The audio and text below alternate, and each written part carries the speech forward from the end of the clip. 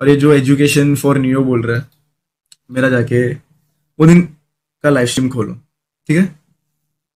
अपन किसकी बात कर रहे हैं तुमको पता है, कौन सी लड़की की हम बात कर रहे हैं यहाँ पे, ठीक है? पायल की बात कर रहे हैं हम लोग। मैंने एक भी जगह पे पायल को गाली दिया। एक भी जगह पे मैंने पायल को गाली दिया गया तुम लोग बताओ मेरे को चैट में। मैंने कोई गंदा एम सी बी सी अभी तो अभी तो इतना सेंसिटिव टॉपिक हो गया ना कि मैं पूरा फुल फॉर्म भी नहीं बोल सकता, कि मैंने एक भी जगह पे पायल को गाली दिया। कुछ गंदा बोला पायल को मैंने। कोई गाली दी। तो फिर मैंने कहाँ से डिसरिस्पेक्ट किया बताओ?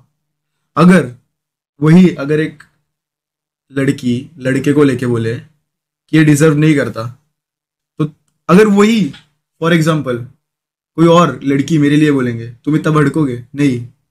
यहाँ पे कौन सा सीन आता है? और बात जब हम दोनों के बीच की थी, मैंने उसको बोला, उसने मेरे को बोला खत्म। मैंने उसके बाद पे कोई रिएक्ट किया नहीं।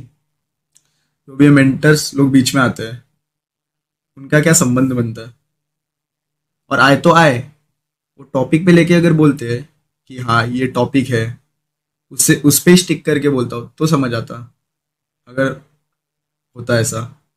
और उन्होंने वो टॉपिक को डाइवर्ट करके ऐसा दिखा दिया कि जैसे मैंने कोई वुमेन का डिसरिस्पेक्ट किया है। जबकि मैं ये बोल रहा था कि इंडिया में, है ठरकी लोग, है तो है भाई तो जो टैलेंट है, वो टैलेंट दिख के नहीं आता।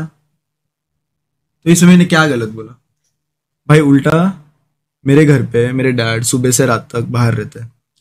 मेरी मॉम है, मेरी बहन है, मेरी बहन को एक बेटी है, जो मेरी भांजी है, मैं उन तीनों के साथ रहता घर पे पूरा दिन। तो मैं आई गेस उनसे ज़्यादा ही फिर फीमेल के साथ में रहता हूँ।